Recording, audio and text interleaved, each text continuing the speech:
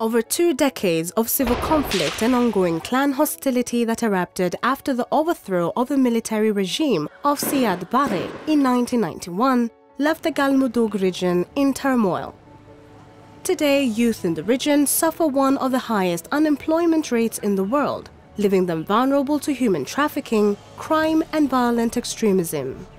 Many disenfranchised youth in the region began setting up illegal roadblocks to extort money out of travelers as both a source of income and an outlet for their frustration. isbaarooyin sagaashan iyo shan kilomitir yaalay baa ka jiray isbaaradu waxay ku haysay qalqal badan dhibaato badan. Dhibaatadaas waxaa ka mid ah qofka muslimka ah oo kasoo safra muqdisho ama ka safra boosaaso ka yimaada oo mara wadada in la furto la dhaco la jir dilo.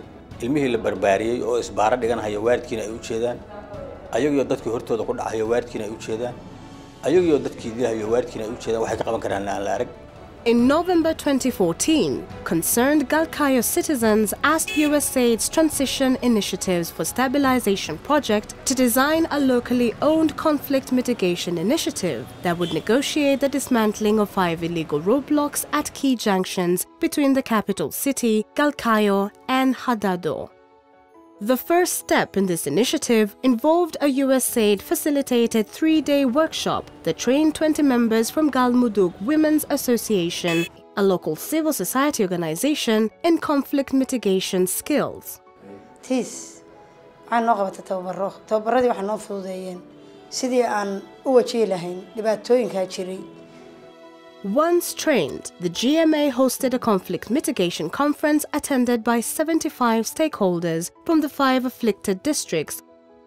The conference produced a strategy for mitigating and negotiating the dismantling of the roadblocks, including the formation of a 15 member arts and culture steering committee to design and oversee the awareness raising campaign.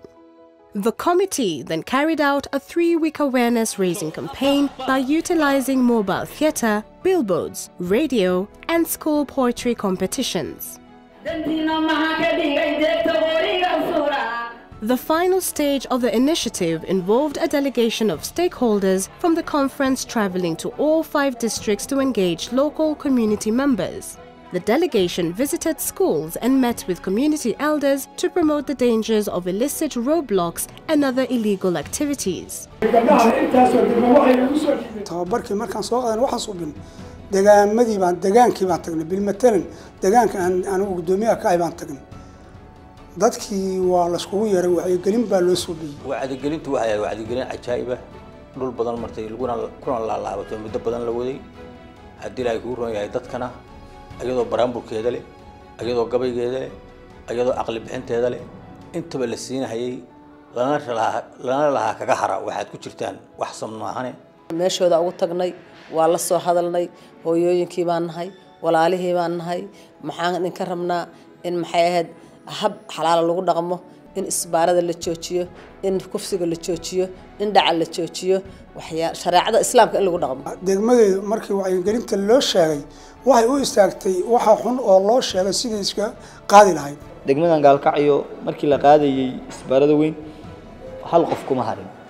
Dhammaan dadka ku nool khaasatan galmudug waa hal mar baa lagu wada dareera maamul haddaan nahay haddaan shacab nahay haddaan hooyooyin nahay dhammaan shan isbaaro oo ugu waaweynay xudun u ahayd baan qaadnay. Hadda meesha heerka ugu fiican bay maraysaa.